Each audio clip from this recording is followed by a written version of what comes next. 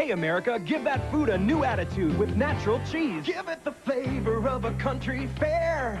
Give it the tang that brings your food some flair. Give American food a new attitude with cheese. Give it the kick of a bluegrass fest.